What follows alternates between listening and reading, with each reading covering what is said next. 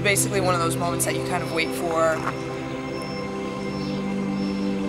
your entire life. And I thought about this moment for a while, and I thought I'd be more prepared, but I don't think I am.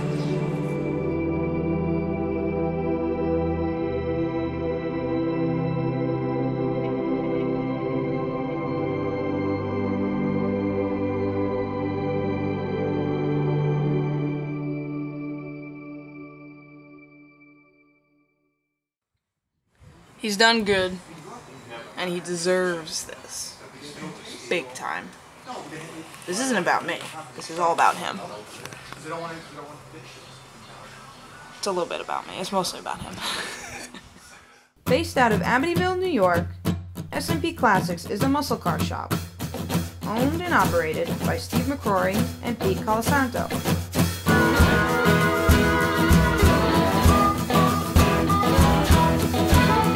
If I had to bring my car somewhere to have anything done, I'd be petrified.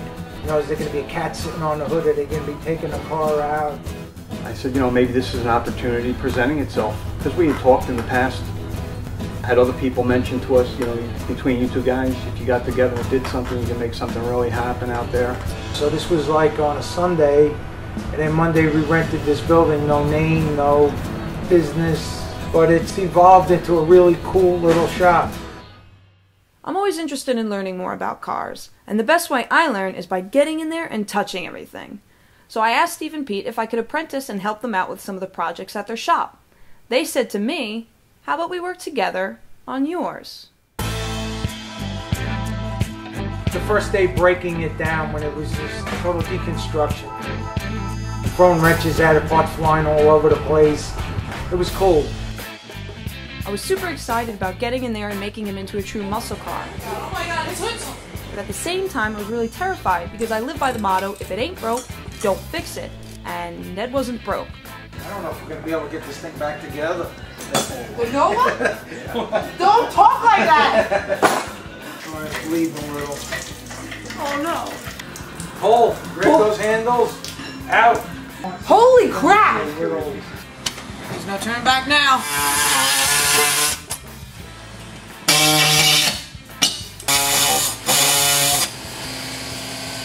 The will and wanting to do it, it was a no-brainer. It was like throw you the power washer, throw you the wrenches, take this out, take that out, sand this down, let's paint this. It was a blast. I trusted Steve and Pete, and they in turn trusted me with power tools. Alright, alright. Okay, okay. Don't panic. No one panic.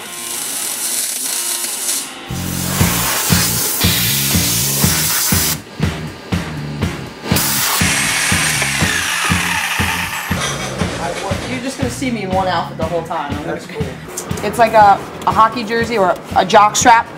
You can't wash it if it, you know, if you keep winning and you're having good luck. This uh, this D-Day outfit is starting to smell real bad. Just gonna tell. Oh yeah, big time.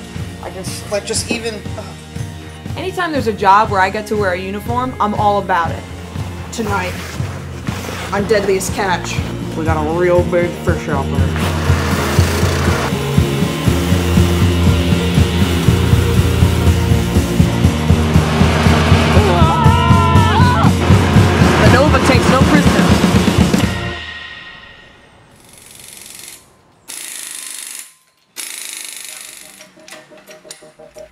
First dropping the 350 into Ned, it was a little bit tight. I was nervous. I didn't speak at all because I was afraid of jinxing things. I'm Breathing heavy. All right, hold it, go back. But in the end, it slipped right in for a beautiful fit, and it's like it was meant to be. Uh-huh. Yep, Look at that. Like a glove. See, it's almost like they know what they're doing. It's scary. Like almost lightheaded. Oh, I'm really almost passing out. I'm very lightheaded. this is just a lot to take in. I learned a bunch of really interesting things throughout this whole process, but none quite as interesting as welding. Welding is kind of like a firework blowing up right next to your face. It's both beautiful and terrifying all at the same time.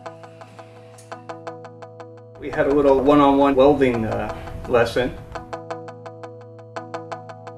I mean, within minutes, she picked right up on it.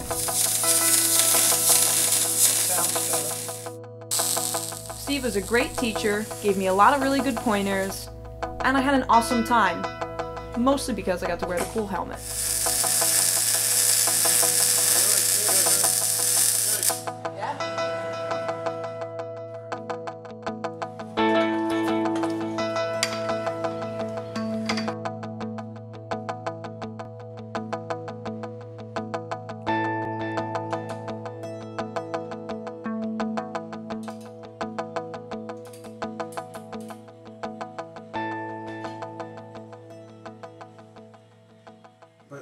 See the interior we did. See the way it looks like Yeah. that finished. It looks It's nice, nice, don't yeah. it? The back seat was in really good condition, so we just sprayed it with fabric dye and put it back in.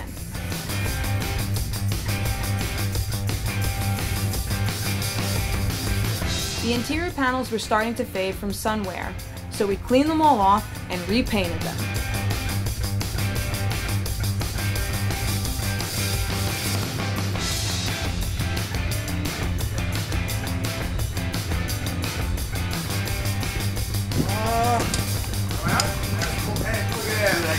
That's the end of that. That's gonna wind up on the floor. Oh my god. We removed the bench seat and put in buckets. That way, my passenger doesn't suffer because I am short. Ah. Yeah. Yeah, this is this is I'm smitten. I don't hear no sound effects. Mother.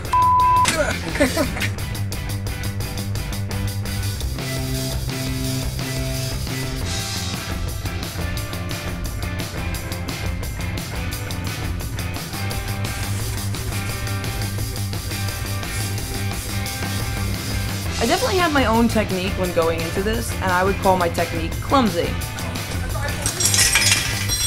I'll get it. and excited, Good? Yes. and mostly clumsy.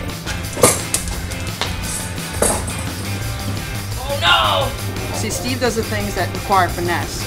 You give me a hammer. Want a hammer? B's and A's. Eight inches. All right, forget it. Forget it. I'm gonna get it out. You're gonna see. I'm gonna get it. i'm gonna get Ah! When things are going good, you don't say they're good. You just say nothing. It's falling. Boy! I like that. Oh! I Didn't even notice it at first. Sticker, sticker distracted you. Are you strong?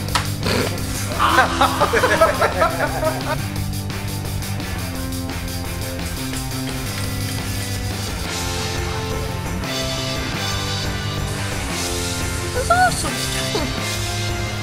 Is that goopy? Oh, I got goopy on my hand. Not a finesse.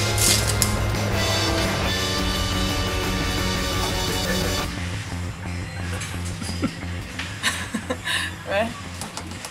It's together.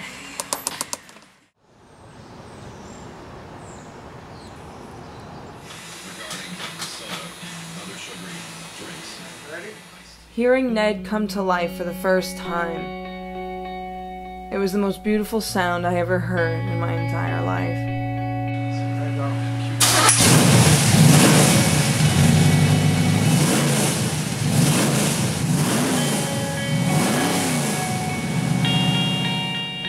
There's no amount of words I think I can use to describe what this car means to me.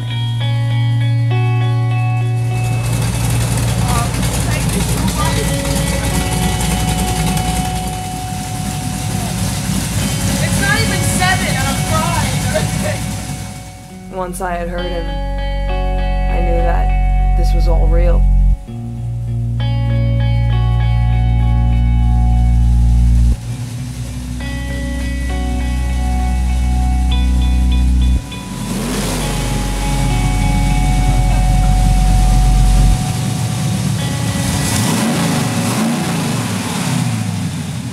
I look out over Ned's hood, I think I could do anything. I'm the person I want to be and the person I believe I can be. And it's because I'm with him.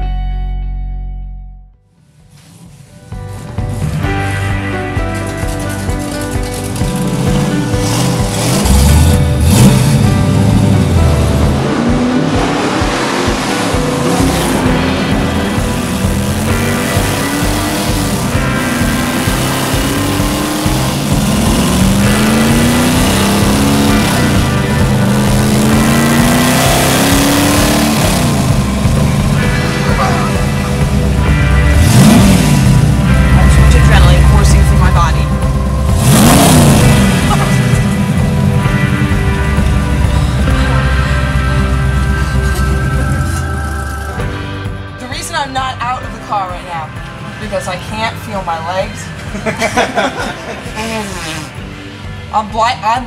I can't. Wait, Ned's mouth is finally as big as mine.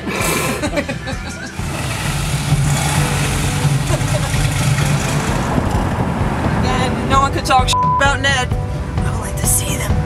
I would like to see them. They just- It's happy. this is what, like it was meant to be.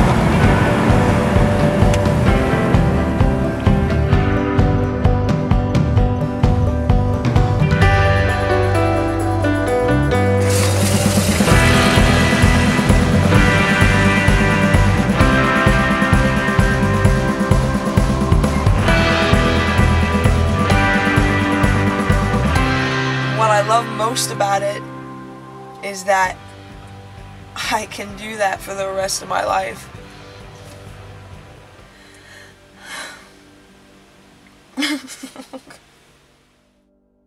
I had this big idea of driving across the country with Ned and finding more of my kind out there.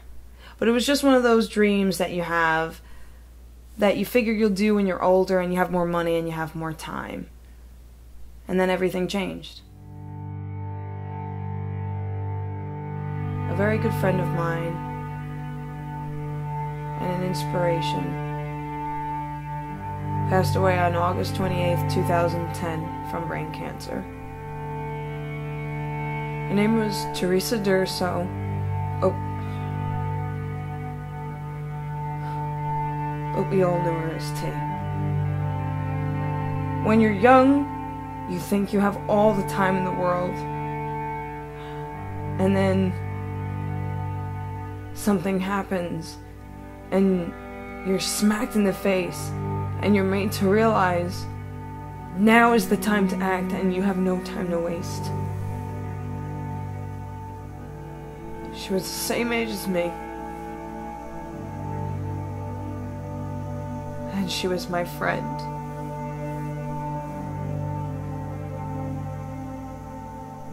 I wouldn't have dropped everything and committed to a dream if it wasn't for her. She inspired me to do so through the actions of her life. So, Beauty's Got Muscle began, and I haven't looked back since. And I have T to thank for that. Just give me a moment. to gather, to collect myself as a human being for this, this existential moment in my life. So Ned has been in the body shop. Last we saw him, he was uh, going to get some some nasty rust cut out. Rims and tires are on him now, and I haven't seen him since. And there's a new bumper, so he no longer has a fat lip. And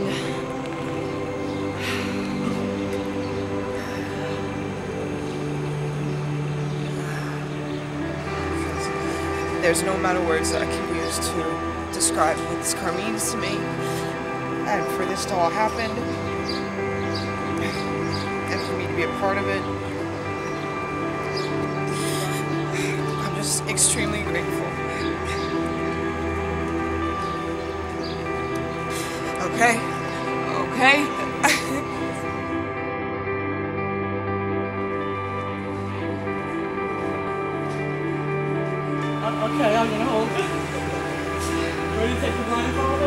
Yeah.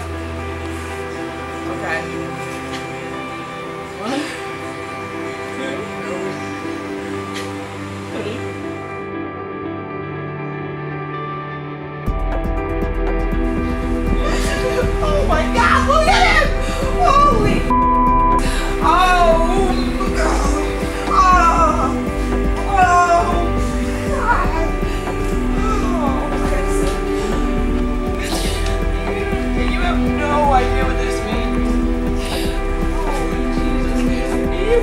You said he didn't look much different. Guys,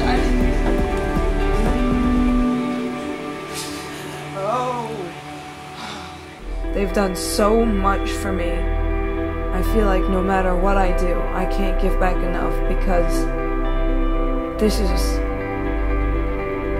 so much bigger than any of my dreams.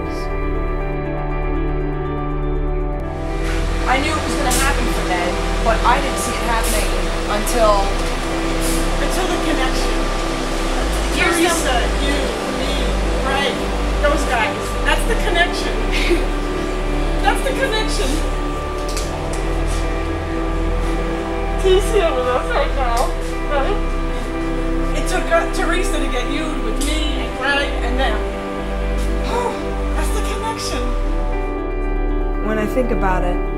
no longer believe in coincidence. I can't. Beauty's Got Muscle wouldn't have happened until later. I would have never become good friends with Carolyn.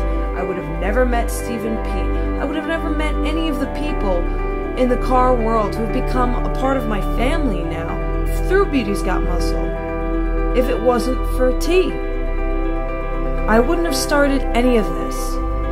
I wouldn't have believed in any of this if it wasn't for her. She saved my life.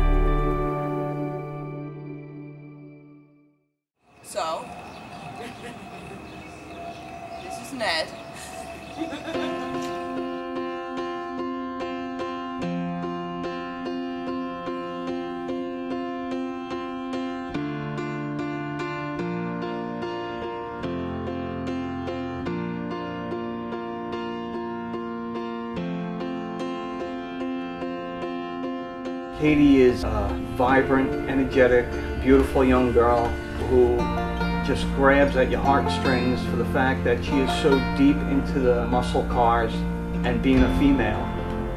It's just an awesome thing. I think that the only downside to the whole project was that it was over. You got something that you can have a lot of fun with for a lot of years.